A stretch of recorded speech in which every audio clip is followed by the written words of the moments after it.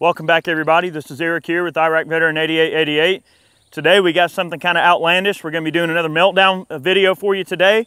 This little rig here is kind of silly. It looks like something that almost belongs in a Kurt Russell movie. I couldn't get Snake Plissken to come out and shoot this for you today, so you're just going to have to settle for lonely old me, I guess. Uh, but we got a CM MG 22 upper here with a 4-inch barrel. We got a KG made Swarm. This is an all titanium can. Uh, so we're going to be shooting full auto until this gun fails. We've gotten some speculation from folks about, you know, how long this thing's gonna last. So leave your comments below. Let the world know how long you think this little guy's gonna last. We got a whole bunch of Black Dog magazines here loaded up with some Federal Auto Match. We're gonna be shooting through it. Got it topped off with a little ACOG, which of course, in typical meltdown fashion, we're not gonna use. Uh, the one thing I am gonna mention about this that we have changed is the standard CMMG firing pin. Uh, we've ran this gun full auto a good bit and it'll break after around 1300 rounds we had Ray machine us a special firing pin for this gun. So that is, I just want that caveat out there that we did change it up just a little bit to give us a little bit more longevity in this rig here. As far as I know, this is gonna be a world record for the amount of full auto 22 that's been fired in one sitting. I can't find any references to anybody running this much 22 ammo. If we end up running the amount of rounds that I think this gun's gonna run, we're setting a world record today. Also, there's never been this much 22 ammo at one time put through a suppressor. So we're kind of torture testing the suppressor. We're seeing how long a 22 can run. So no telling what's gonna happen. We're just gonna go for it. We have no idea how this is gonna go. We're just gonna do it.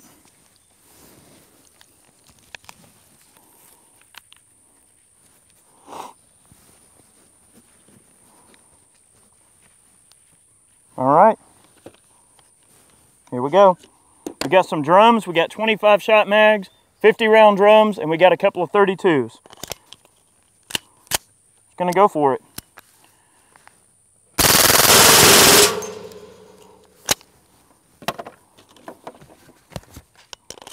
I'm gonna have some guys back here loading some mags for me.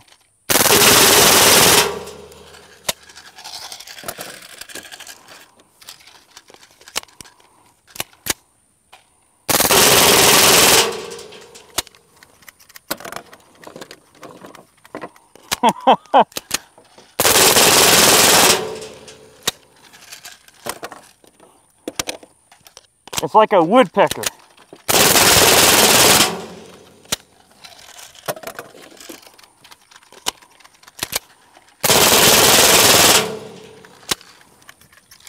All right, we're running five sticks and a drum. So here's a drum.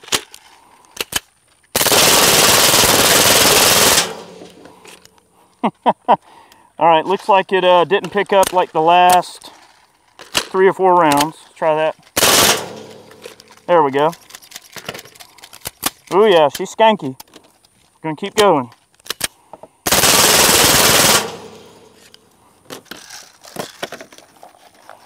And hey guys, if any of these mags are short when I'm sending them to you, let me know.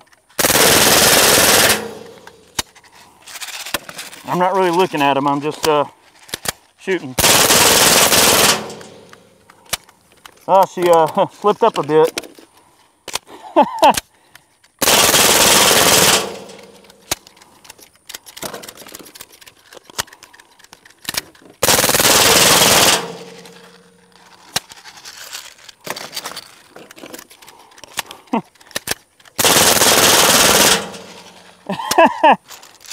it's like a laboratory of destruction.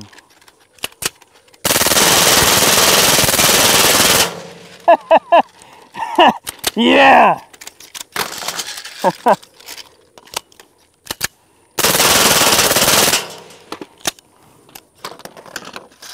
it's like a pack of angry hornets.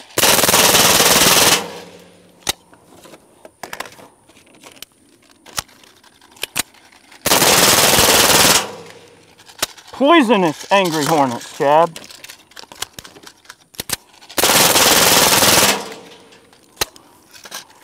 Look at this thing just running.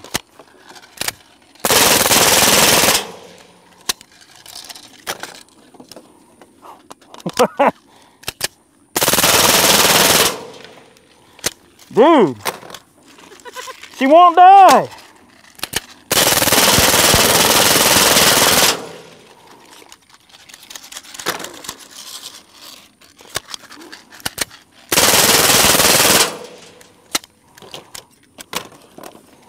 Thank you, Chad.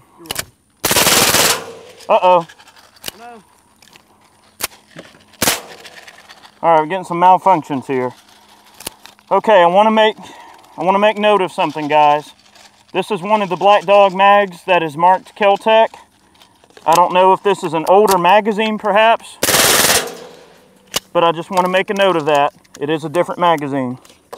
Put it to the side. Yep, put it to the side.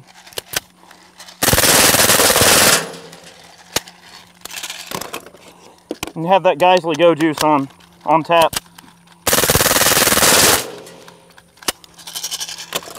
Dude, that can is hot. We're gonna take a temperature reading in just a moment. Uh-oh.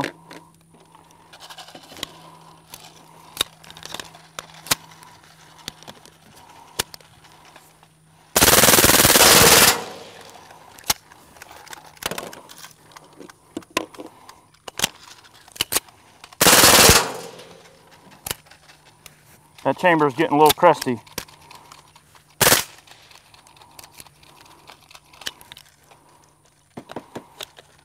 Uh, this is another one of the Kel-Tec marked magazines. For the purposes of this test, Chad, pull all the Kel-Tec mags, please. All right. Oh, wait, we're not in drum territory yet. We're about to be, though. I believe the newer mags have metal feed lips, Chad. Is that correct? They do. Okay, good deal.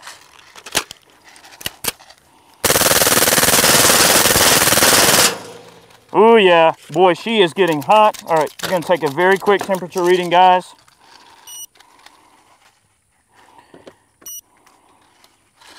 The suppressor is 222 degrees. The barrel, 301 degrees. The chamber, 149 degrees. The upper receiver, 161 degrees. The barrel nut, 275 degrees. We're gonna continue the test. Not bad. Nope, not running bad. I am gonna give her just a little bit of lube. She's looking a little silly here. All right, we're gonna continue the test.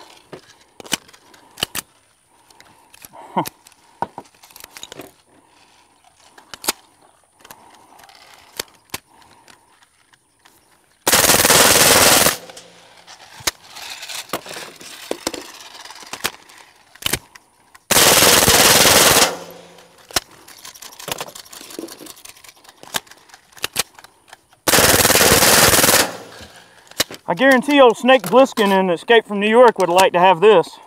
Oh yeah. You know, when you got a horde of ninjas coming after you.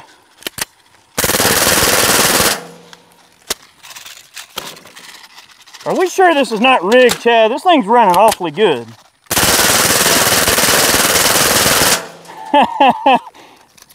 Bye. okay, now we're on the 32 round magazines. These are also Black Dog magazines.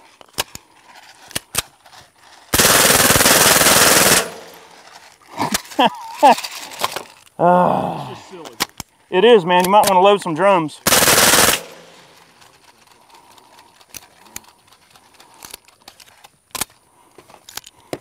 Had a couple of malfunctions so far, but guys, you know, it's a it's a 22.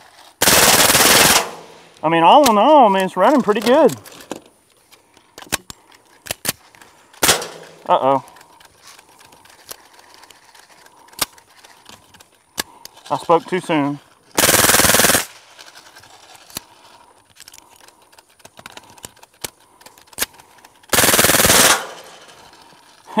It is crazy. It's stringing those shots like three feet to the right now.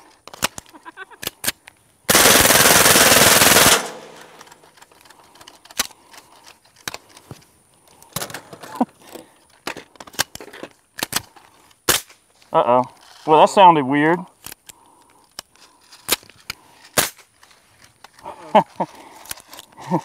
it's doing that weird thing again.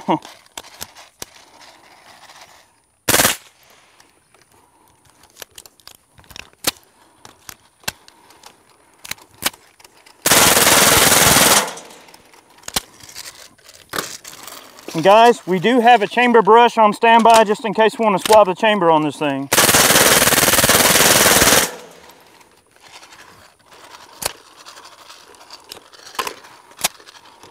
Mean, all in all, it's not running terrible. All right, there's your drum. Yeah, starting to give some weird, weird issues here, for sure.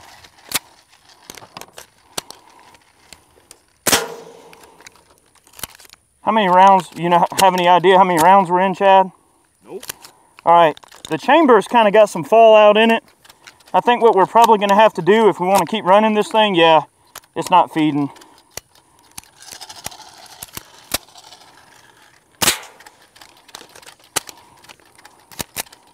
Yeah, failure to feed. Tell you what, just, we're gonna try another mag, just make sure it's not the mag. All right, this is another Black Dog mag. This is a Kel-Tec magazine. Let's try it. Here we go.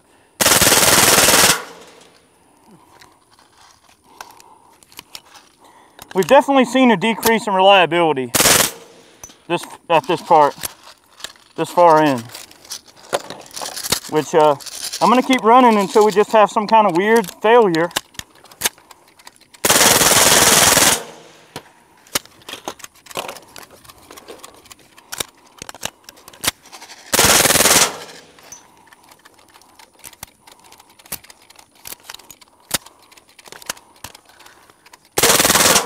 Yeah, she's definitely getting sluggish, Chad. Yep. But, I mean, to be fair,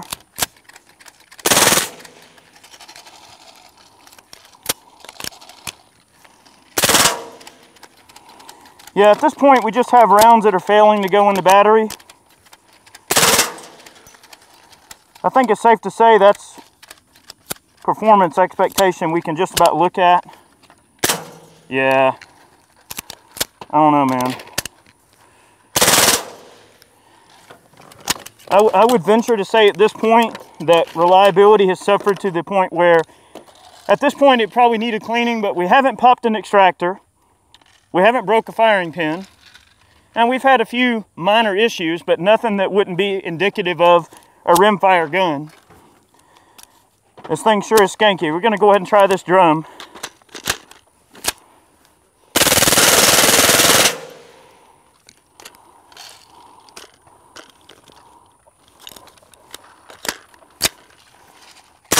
All right, I'll tell you what we're gonna do.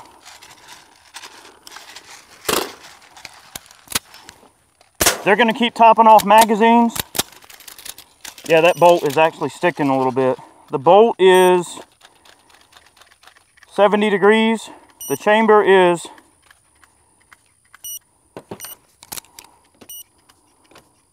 Seventy degrees. The barrel is 225 degrees. The barrel nut is 230. The can is 237 degrees. We're gonna work as quickly as we can. We're gonna scrub the chamber. We might have some fallout in the chamber, some carbon buildup. We're gonna quickly scrub the barrel, keep going. Okay, roughly two minutes have elapsed. We went ahead and uh, pulled the gun apart and scrubbed the chamber. Really nothing abnormal other than being really, really nasty. We're gonna continue the test. The gun hasn't really like technically died yet, so we're gonna keep going. Hopefully the chamber cleared it up. Oh, I can definitely tell that things run a lot smoother. I, think that chamber just began to get a little nasty.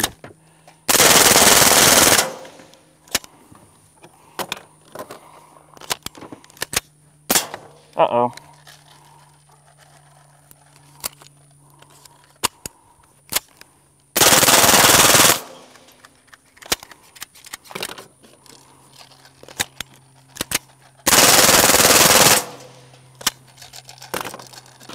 Running pretty good.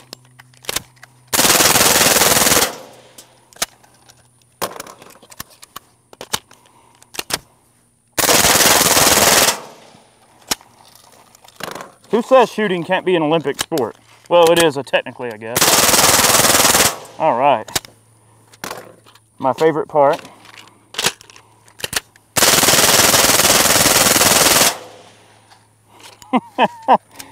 Oh, those drums, man.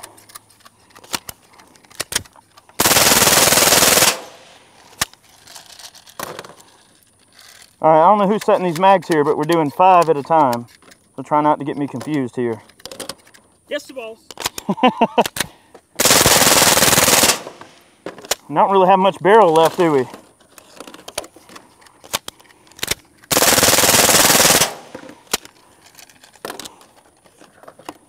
It's like a pinball machine.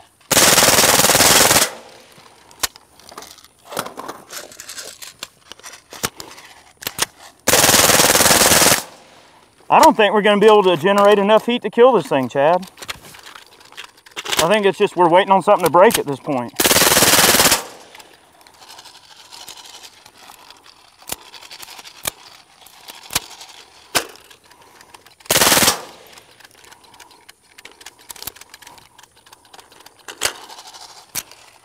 Yeah, it's doing that sluggish thing again, Chad.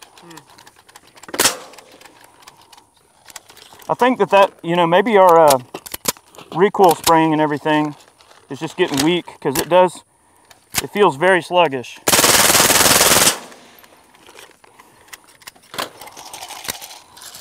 I don't know at what point we could definitively call it until something breaks.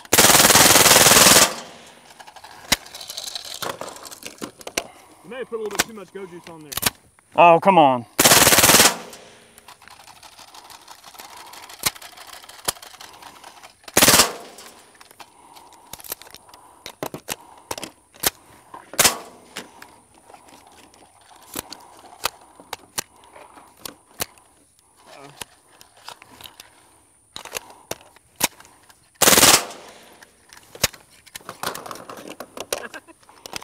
Well, at least this is one of our cheaper meltdowns. That sounded strange.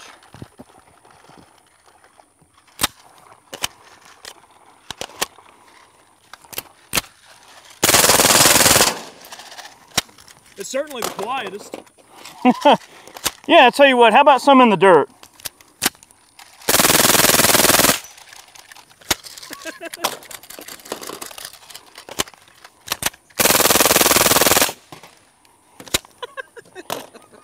It's like a woodpecker. Here, here's a woodpecker that's gonna run an endurance race. Oh, well.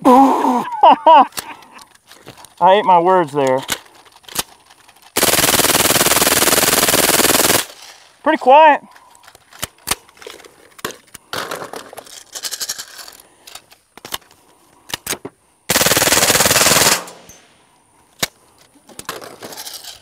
There's going to be a lot of re- either really happy people or really mad people or really pissed off Ruger 1022 fans.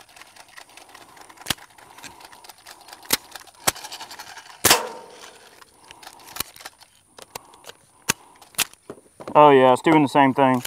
I think that chamber is just getting a lot of fallout in it.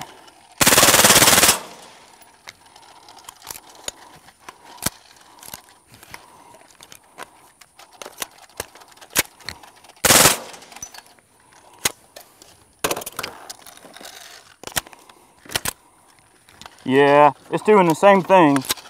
Basically, it's doing what it what it took a lot of rounds to do before, except it just didn't take as long this time.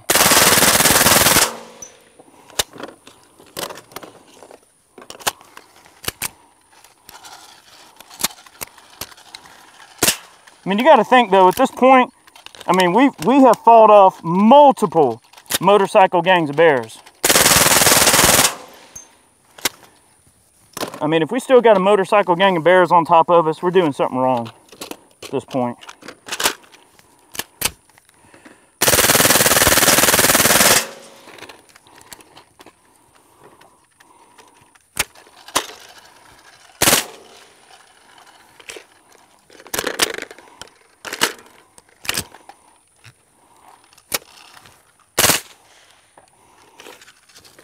Didn't run all of that drum.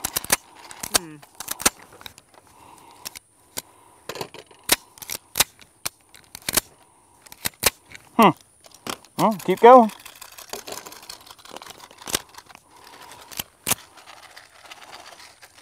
Uh-oh.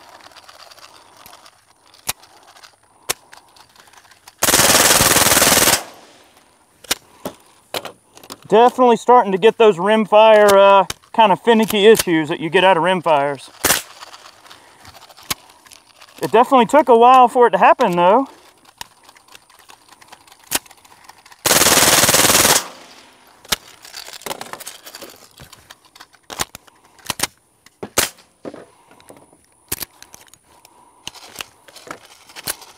Yeah, it's doing the same thing. Failure to feed. Failure to feed.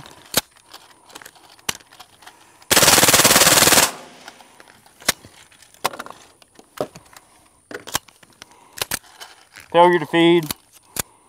Yeah, it's that chamber is really skanky, Chad.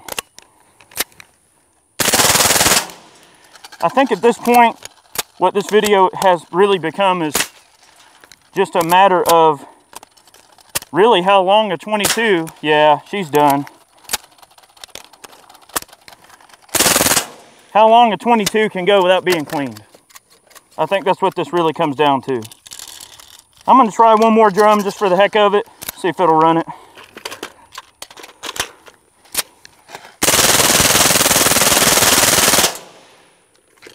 Huh.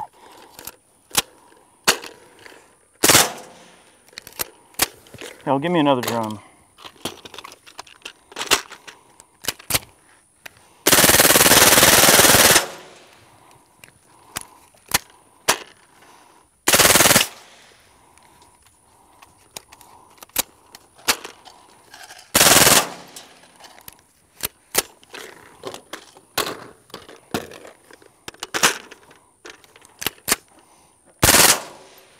Oh, it's a partial drum.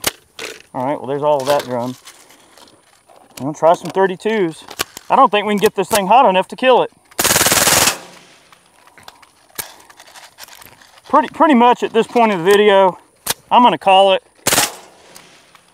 All right, guys, that was a pretty interesting result that we got out of the little CMMG 22 there. Uh, you know, it's crazy. It ran a ridiculous amount of rounds. We allowed the gun to cool down. We pulled it apart. Uh, we got the KG made suppressor apart. I mean, there's a little bit of lead buildup here and there, and there's definitely some, you know, leading on the baffles itself. But overall, I mean, the suppressor came apart relatively simple. I mean, we had to kind of beat it with a rod a little bit to get it apart, but that's to be expected. So you're probably wondering how many rounds the uh, gun ended up going. Uh, well, it's kind of an estimate because we just had to, you know, review the footage. It went 2,178 rounds, and that's kind of an estimate. Uh, we factored in some of the stoppages as well, counting, you know, removing those from the count. So almost 2,200 rounds. That's almost seven bricks of Federal Auto Match. So, I mean, just to put it in perspective, all these empty boxes, I mean, we just put an amount of ammo through this gun that your average person probably wouldn't do in an entire year. Uh, now, granted, some of us shoot a lot, but the gun's pretty filthy. I mean, you look at the lower, it is just caked in a nice layer of carbon. The upper is definitely skanky. It's got a whole bunch of nasty stuff in the upper. Uh, the barrel, it, you know, we can't really see anything that's terribly wrong with the barrel itself. I mean, I think what it really comes down to is just a maintenance thing. Um, the gun just needs a really good cleaning, and I think it'll probably run just fine. I really think that if the gun hadn't have gotten like really gummed up with all of the, the nasty from all the ammo, I think it would have just kept going and kept going. Uh, I don't think that the 22 long rifle cartridge generates enough heat to really cause a heat issue. In fact, when KG made, when they like kind of heat treat these, not really heat treat, but when they they'll they'll do like kind of a heat bluing in a way, and they'll they'll get like a nice blue or kind of purple color out of these things. And when they do that, they actually heat these suppressors up even hotter than what we were able to get this with with full auto 22 just back at, uh, back to back there. So I mean, we got a little bit of uh, you know exchange of heat that caused the uh, temperature to change a little bit and caused that little bit of discoloration, but not any more than they would do at the factory. So that's pretty interesting. Uh, the suppressor held up, the gun held up, the optic held up, uh, the gun held up. So oddly enough, I, I think what this video really proves is that it's really just a maintenance thing. Once your 22s get so gummed up full of carbon and lead buildup, uh, yeah, your suppressors are gonna get a little bit heavier because they're gonna get leading. In fact, the only definitive strip of lead I was able to pull out of the entire suppressor is just this little sliver of lead buildup right here. So not a terribly large amount of lead buildup. Um, so that's really cool to know that your can can pretty much go, go the distance. So it proved that suppressors are, are definitely overbuilt and good quality and they can last a long time. And it proved that a 22 conversion can uh, take a licking and keep on ticking. I mean, this is way more ammo than any average person would ever put through uh, a gun in one sitting. And I would venture to say that this is actually a world record. I don't think this much 22 ammo has been put through any gun in, the, in as quick of amount of time as what we just did ever. So there's, there's our, uh, our record to beat, 2,178 rounds, and that's the most ammo that's been put through a 22 suppressor in the shortest amount of time as well. So I think that's the most rounds put through suppressor and the most rounds put through a 22 of any type. We're gonna call it that because I can't find anybody that's ever done this amount of rounds like this. So hopefully you guys learned something in this video, but I'll tell you what, just to make sure that I'm right, okay, we're gonna clean this gun really good right now. I've got five drums loaded up right here. So the way we're gonna test it, we're gonna clean the gun, put the suppressor back together, and if it runs all five drums without a malfunction,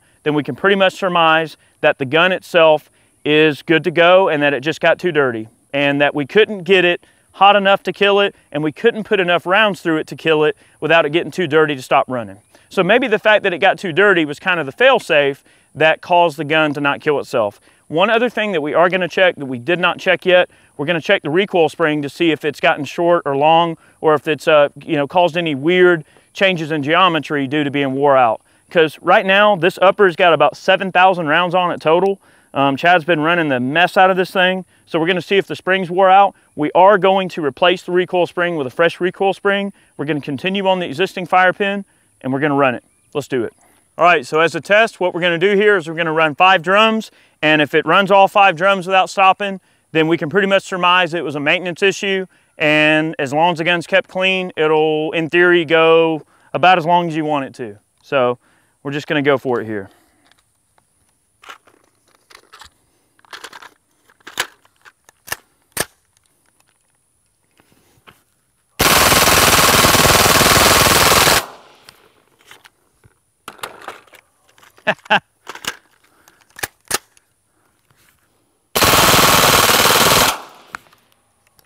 Right, we got a stoppage.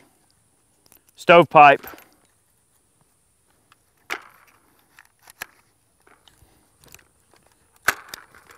We're gonna keep going.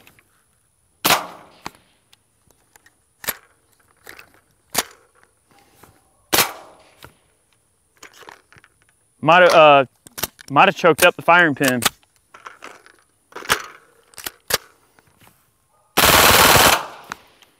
Stovepipe.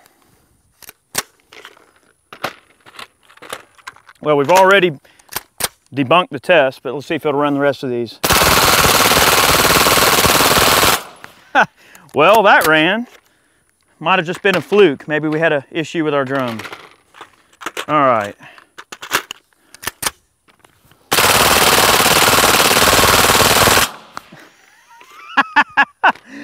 ran that.